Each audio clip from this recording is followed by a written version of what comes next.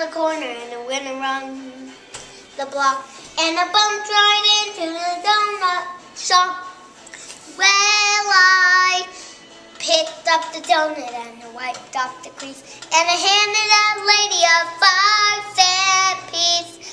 Well, she looked at the nickel and she looked at me and she said, Young lady,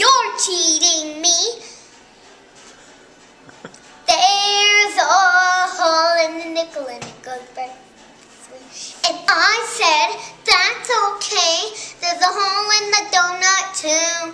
Bum ba da dum bum. Bow wow! Yay!